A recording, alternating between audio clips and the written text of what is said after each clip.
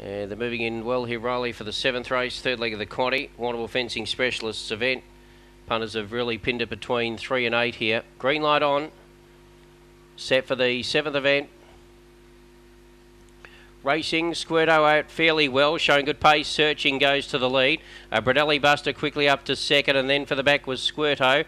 A bit deep on the track there was Spring Saviour. Inner spins quite wide.